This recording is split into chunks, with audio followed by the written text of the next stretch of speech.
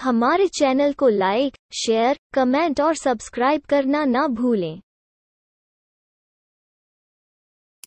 Don't forget to like share comment and subscribe to our channel